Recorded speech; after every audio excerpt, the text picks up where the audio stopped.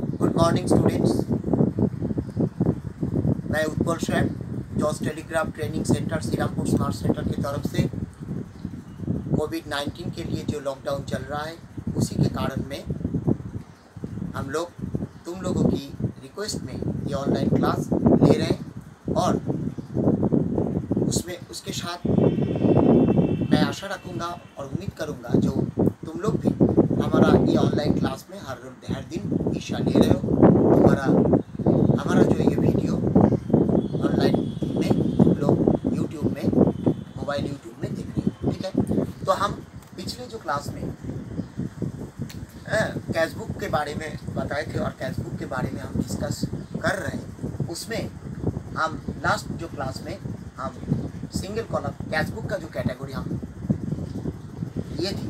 उसमें जो single column cash book double column cash book triple column cash book petty cash book and multi column cash book उसमें हम दिखाए थे single column cash book क्या है, उसका डेफिनेशन क्या है, उसका प्रोफॉर्मा क्या है, वो हम दिखाए।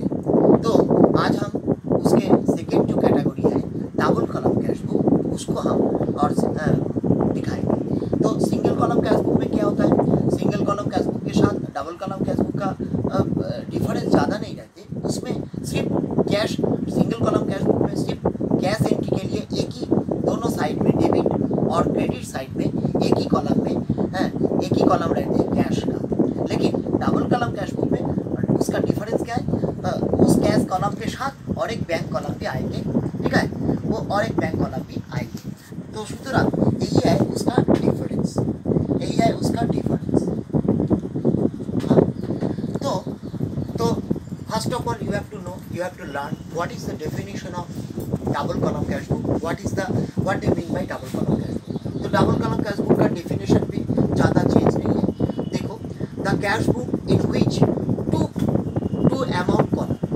the cash book in which two amount column is drawn both side of debit and credit side to recording the cash and bank transactions is called double column cash book तो फिर से हम कहते हैं रिपीट करते हैं the cash book in which two column two amount column is drawn both side तो बाएँ तरफ़ भी एंड दाएँ तरफ़ भी और डेबिट कॉलम डेबिट साइड में भी और क्रेडिट साइड में भी तो both side debit and credit side is record to record it the cash and bank transaction तो यहाँ पर कैश ट्रांजेक्शन भी होगा लिक्विड कैश जो है नोट करेंसी में जो है, और बैंक ट्रांजेक्शन जो चेक में है, वो भी यहाँ पर होगा.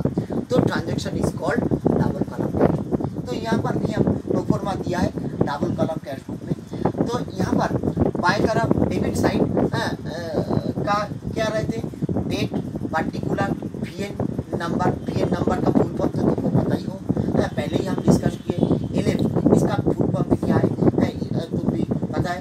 और हमारा तो यहाँ पर कैश और बैंक वाला, ये ये है बाएँ तरफ़। और इसका मतलब है डेबिट साइड का और क्रेडिट साइड में ये सेम ही कॉलम रहते हैं। तो डेट पर्टिकुलर पी एन इसका मतलब है वाउचर नंबर एल इसका नंबर है ledger folio number cash and bank तो नए क्या है? ये जो बैंक साइड है ये डबल कॉलम कैश बुक में सिंगल कलम कैश बुक के साथ जुड़ा हुआ है। इसीलिए है तो ये है proforma of double column cash book तो आ, हर दिन जो ट्रांजेक्शन होगा कैश ट्रांजेक्शन उसमें चेक और कैश जो ट्रांजेक्शन हो यहाँ पर date by date with narration के साथ जो डेबिट होगा डेबिट साइड में लिखना है जो क्रेडिट होगा क्रेडिट साइड में लिखना है।